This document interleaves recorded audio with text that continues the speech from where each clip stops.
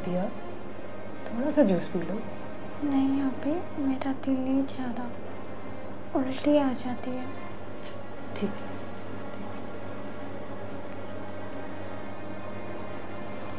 Mummy. जी जी मेरी जान। क्या मैं मर जाऊँगी? नहीं नदिया बेटा ऐसी बातें नहीं करते। तुम देखना तुम तुम एक दो दिन में बिल्कुल ठीक हो जाओगी। फिर फिर हम सब घर चलेंगे। और मैं मैं अब हर वक्त तुम्हारे साथ रहूँगी मेरी जान हर वक्त। तो फिर आप रो क्यों रही हैं?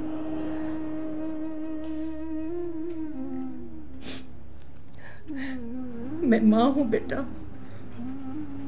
औलाद को तकलीफ़ में देखकर माँ की आँखें खुश कैसे रह सकती हैं? तो फिर आपने मुझे हॉस्पिटल आने में देर क्यों कर दी?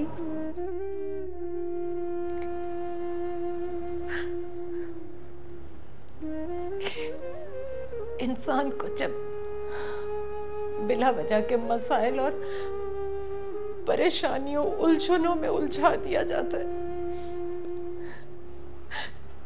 तो असल मसले की तरफ़ तवज्जो नहीं रहती बेटा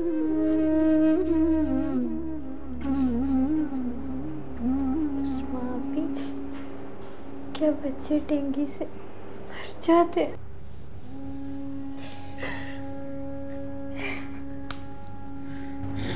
नहीं मेरी गुड़िया डेंगू से सिर्फ़ कमज़ोर और बूढ़े लोग मरते हैं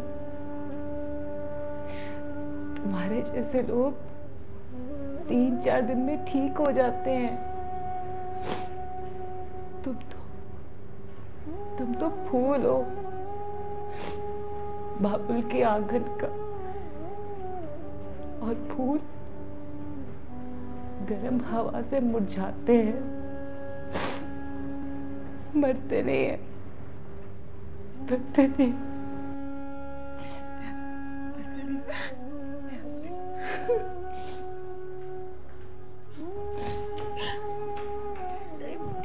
सवाल नहीं करते। तुम बिल्कुल ठीक हो जाओगी। तुम हमारे साथ घर चलोगी अपनी बहनों के साथ रहोगी घर में रहोगी हमारे साथ। तुम ठीक हो जाओगी। ठीक हो जाओगी। तुम्हारी दुआओं से आज मेरा सीसस का पहला पेपर बहुत अच्छा हुआ। शुक्र है अल्लाह का। अल्लाह तुम्हारी मुश्किल आसान करे। क्या बात है तुम? तुम खुश नहीं रो रही थी। असलम वो नदिया को डेंगू बुखार हो गया। डेंगू बुखार? टेस्ट करवाया? हाँ। अबू ने तो बहुत छुपाने की कोशिश की लेकिन जीनत पप्पू ने सब कुछ बता दिया। तुम घबराओ नहीं सब कुछ ठीक हो जाएगा। नदिया दो चार रोज में बिल्कुल ठीक होकर घर आ जाएगी। मैं मैं हॉस्पिटल हूँ। विक्रम है।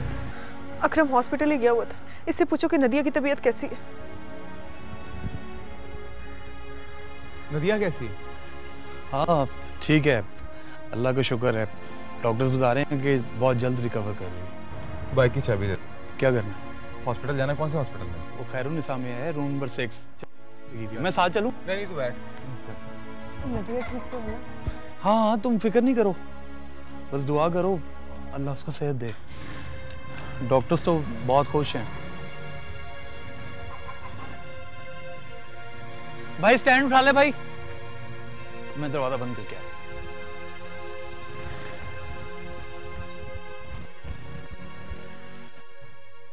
अगर आपने 25 अक्टूबर 2011 से अपनी टॉक शॉक से पास अस्पताल गया था। जी अम्मी आप फ़िक्र ना करें डॉक्टर्स बता रहे थे कि अच्छा अच्छा। तू चल जा जाके नहा धो और ये कपड़े उतार कर फेंक। इनमें जरासीम लग गए होंगे। अम्मी आप कैसी बातें कर रही हैं? खाम खा वहम हो गया आपको। डॉक्टर्स बताते हैं कि ये डेंगू छूत की बीमारी नहीं है। न डॉक्टरों को क्या पता कि ये कितनी खतरनाक बीमारी है हैं? मैं तो खुद सारा दिन बैठकर टीवी देखती हूँ। मुझे तो टीवी की स्क्रीन से बाहर आते हुए जरासीम दिखाई देते हैं। आपके कहने का मतलब है कि डॉक्टर्स को नहीं पता? टीवी वालों को ज़्यादा पता है? ना अगर डॉक्टरों को इतना पता होता तो वो इस बीमारी का इलाज ना ढूंढ लेते। अम्मी अब आपको मैं कैसे समझाऊं? तू जा जाके ये कपड़े बदल और नहा दो करा फिर समझाना मुझे। अम्मी एक बात तो बताइए। कल को जब नदिया सेहत याब होकर घर वापस आ जाएगी तब क्या करेंगी आप? तब की तब देखूँगी। चल जा अब जा तू। अम्मी मेरी बात तो समझने की कोशिश करें। अकरम तुझे मेरी बात समझ में नहीं आ रही? अच्छा जी। तौबा।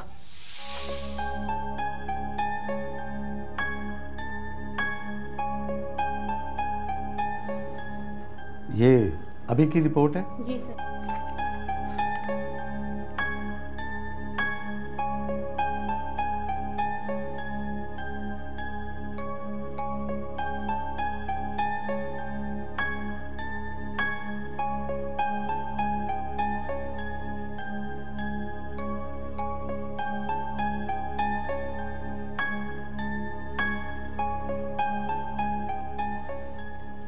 हौसला रखें अल्लाह बेहतर करेगा।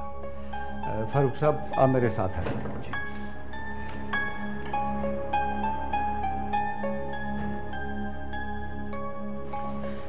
डॉक्टर साहब खुदा न खास्ता कोई बुरी खबर तो नहीं फारूक साहब नदिया के ब्लड में वाइट सेल खतरनाक हद तक कम हो चुके हैं।